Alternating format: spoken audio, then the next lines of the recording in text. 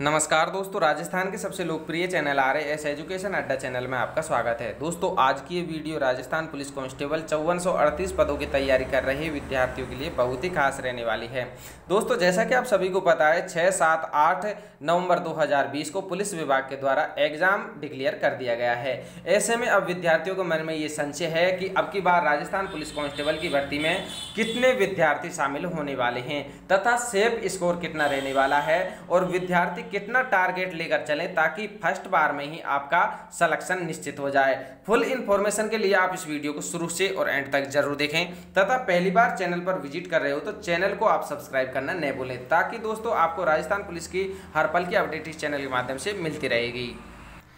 दोस्तों, जैसा कि आप सभी को पता है, पुलिस विभाग के द्वारा ये तो क्लियर कर दिया गया है कि अब की बार राजस्थान पुलिस के जो कांस्टेबल के लिए आवेदन आए हैं, वो सत्रह पॉइंट छः लाख आए हैं।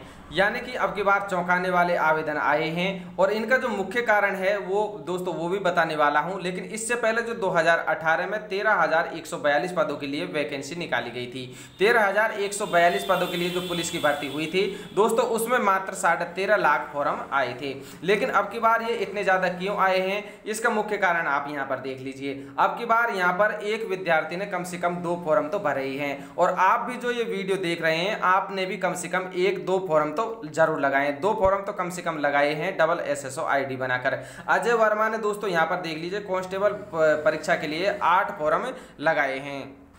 इसी प्रकार से दोस्तों यहाँ पर गगन कुमार है। गगन कुमार ने चार फॉर्म अप्लाई किए हैं। और दोस्तों ये पूछ भी रहा है कि तो क्या मैं चार एग्ज़ाम दे सकता हूँ?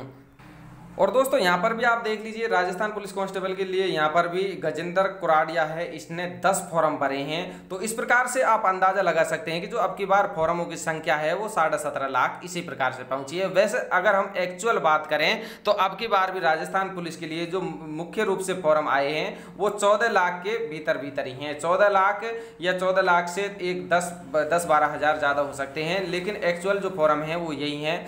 मुख्य कारण यही है कि ज़्यादा से ज़्यादा फॉर्म एक दो विद्यार्थियों ने दो या तीन फॉरम लगाए हैं। तो दोस्तों, अब की बार चौदह लाख विद्यार्थी मानकर चलो, चौदह लाख विद्यार्थी हैं और जो आवेदन है वो चौवन सौ अड़तीस वैकेंसियों के लिए ये हैं। तो दोस्तों, इस जो सेफ़ स्कोर आपका रहने वाला है, वो इस प्रकार से 260 रहने वाला है एक सीट पर। एक सीट पर 260 का दोस्तों टारगेट है आपके लिए। आप अच्छी तरीके से तैयारी करें। क्योंकि दोस्तों, विद्यार्थियों का जो टारगेट है, वो कोरोना ने भी ख़त्म कर दिया है। कोरोना की वजह से विद्यार्थियों की तैयारी भी गड़बड़ा गई है। इसलिए दोस्तों, और अब की बार सिलेबस में भी चेंजिंग किया गया है। डेढ़ प्रश्न कर दिए गए हैं एक सौ बीस की जगह। तो दोस्तों, अब सीधे सीधे मैं आपको जो मुख्य बात है, उस पर आता हूँ कि अब की बार ऐसा तो है नहीं कि 2018 में जो कट ऑफ़ आपकी गई थी मेरिट लिस्ट गई थी। अगर आप सोच रहे हों कि उसी प्रकार से चली जाए तो आप बिल्कुल गलत हैं, क्योंकि दोस्तों, बहुत सारे स्टूडेंट हैं, मेरे यहाँ पर नज़दीक भी हैं। तो दोस्तों सैंतीस पर जोधपुर कमिश्नरेट में सिलेक्शन हो गया था। सैंतीस, जिसके नंबर हैं एग्ज़ाम में, उसका पिछली बार 2018 वाली भर्ती में सिलेक्शन हो गया था, क्योंकि पिछली बार भाग था और जो भाग में क्लियर नहीं है, वो बिल्कुल फेल माना गया था। लेकिन अब की बार ऐसा नहीं है। तो दोस्तों, आपसे रिक्वेस्ट है कि आप दोस्तों टारगेट 50 प्लस का लेकर ही चलें।